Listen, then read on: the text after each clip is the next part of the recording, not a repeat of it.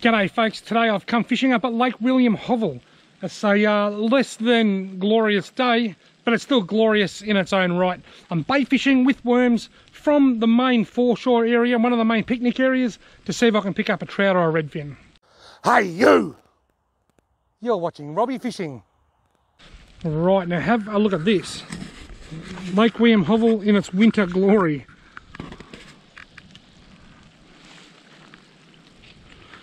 Quite gloomy up here today. Last time I fished up here, I was up there on that, that far bank over there. Now, I did just go up there now. The track is very, very slippery because of the rain. I got through okay in my four-wheel drive though. There was no problems, but it was very windy. The wind's sort of coming up the lake straight into the area that I wanted to fish, which makes it hard to bait fish because your rods are bouncing around all over the shop and your slack line's going crazy and you can't see whether you're getting a bite. So I've decided to come back down here to where everybody fishes, the main foreshore area.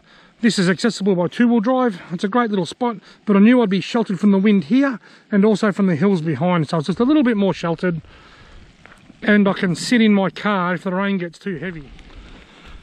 Rightio, time to put line number one in. I'm using a paternoster rig with a fairly heavy sinker. I want the sinker to be able to get out.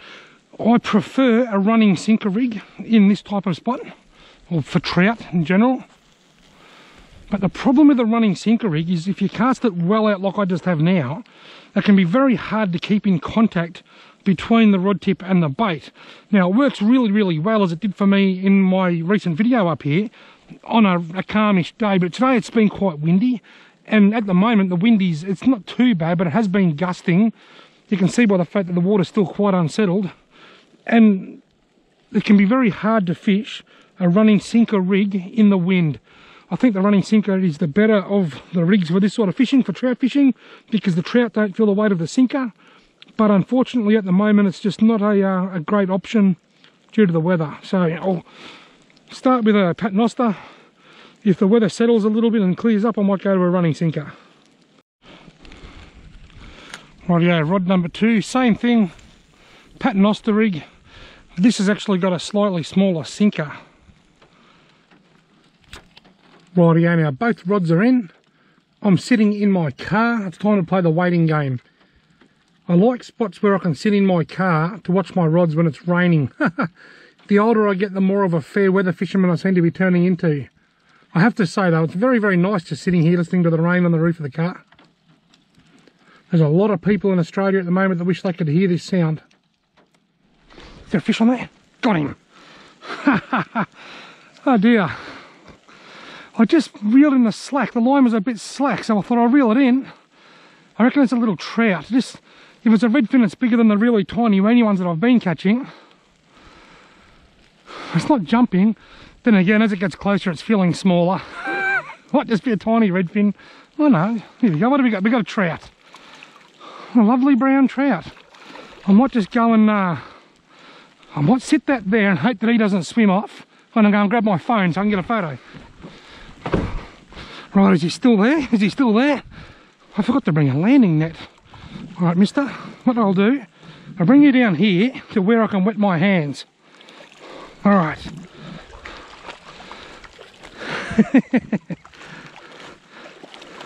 They've been sitting there for about three quarters of an hour, these rods, and I hadn't had a bite. So I got out of the car and I went and I thought, just reel the slack in. Just the, must have just moved the bait a little bit.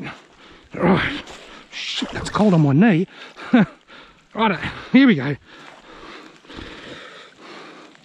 A nice Lake William Hovell midwinter brown trout. That should make a good photo with that really foggy backdrop, I reckon.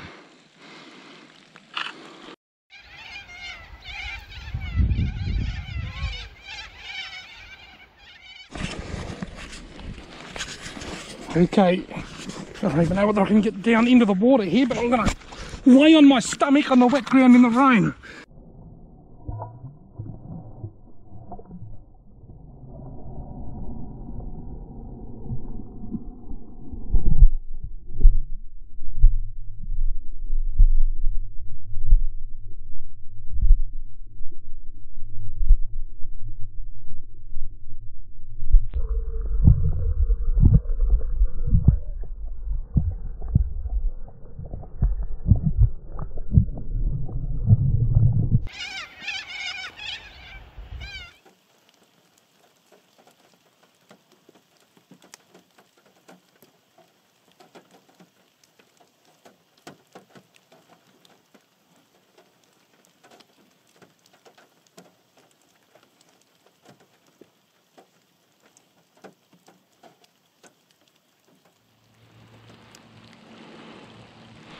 Come on, take it.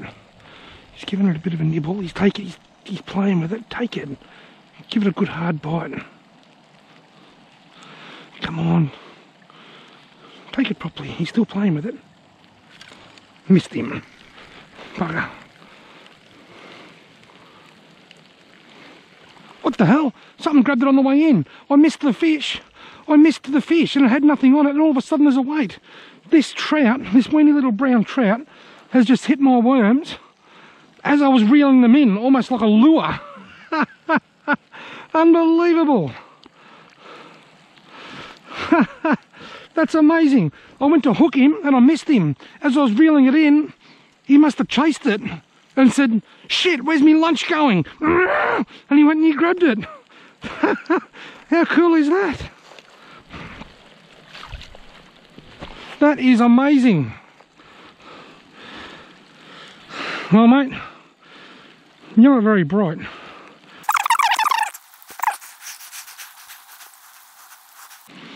I cannot break that.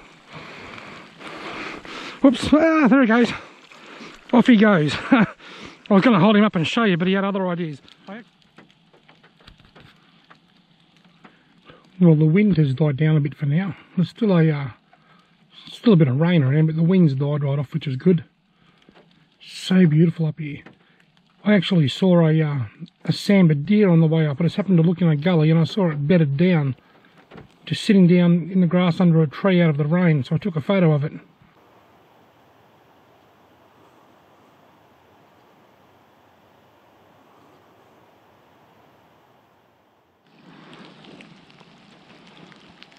It's funny, it got uh, it got really, really dark. And I thought, oh, it's going to bucket down. And then it lightened right up. It got quite light, like it is now.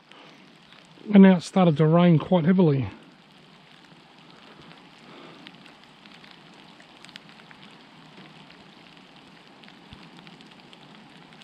Here we go. He's back, and this time I'm waiting for him. Here we go. I got him.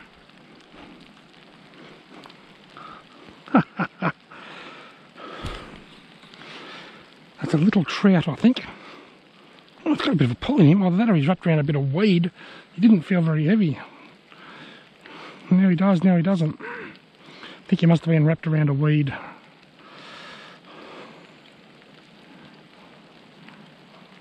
Still there. It's only a little trout, I reckon. Yep, there it is.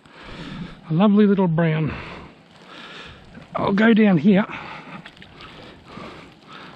This is like the landing spot where you land fish. it's only because I like to wet my hand before I hold them. And it's a bit lower to the water down here. Right. Come here, buddy. Ugh. Well, you sent me on a bit of a goose chase.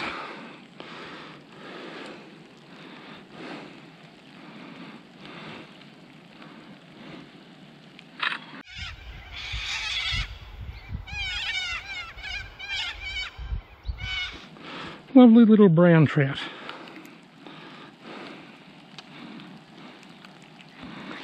I want to try the underwater release thing again, but I got rather wet before. I'll try it.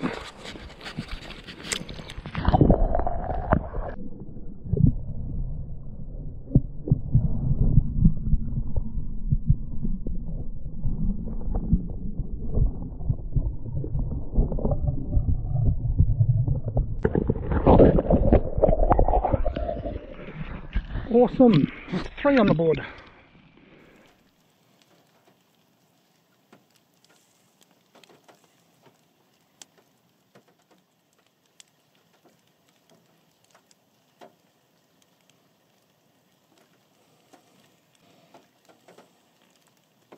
Oh shit.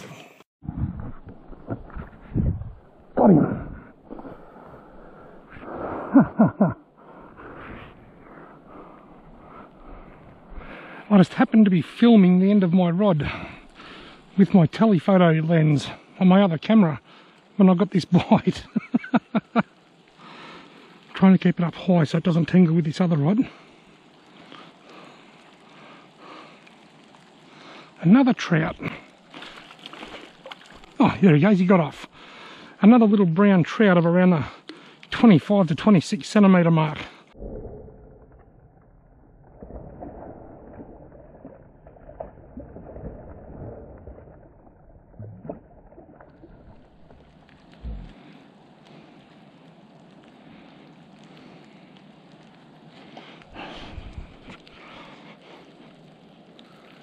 Got him.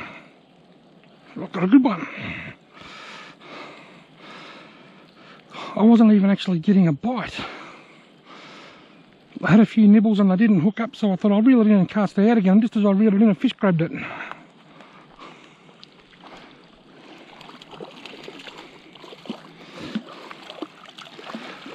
I am on fire today. I wasn't even, I was getting nibbles and I reeled it in and I nibbled and I reeled it in just to keep the bait moving. Then I thought, oh, it's coming far enough, I'll reel it in and uh, cast it out. And I reeled it in and a fish grabbed it the moment I picked it up. Another lovely little brown trout.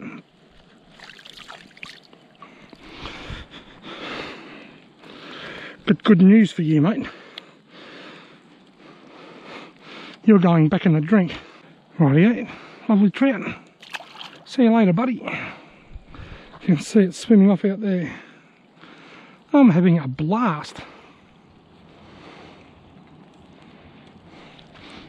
Take it.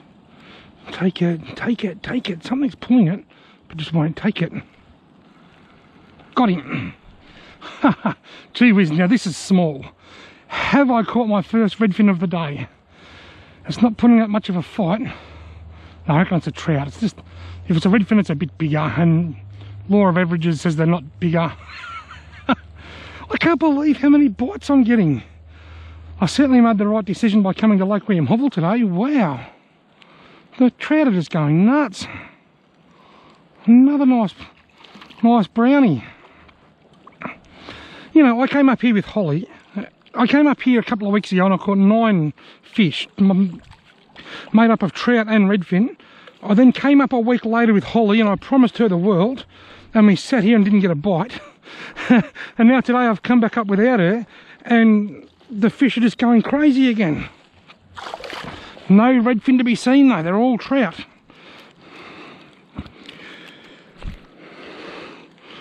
I've actually lost count of how many trout I've caught now. I think this is six or seven or something. All I know is I'm having a lot of fun catching them.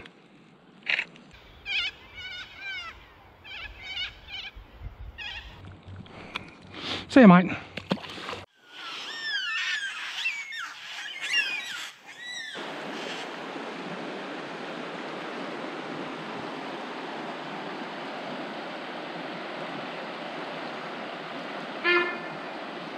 Did you hear that? That was a Sambar deer honking. I've just stopped here to get a bit of video of the river and I've been honked by a sambar deer over there somewhere. That's really cool. he honked twice, but the first time he honked I wasn't filming and I jumped so high I almost landed in the river. Frightened the crap out of me.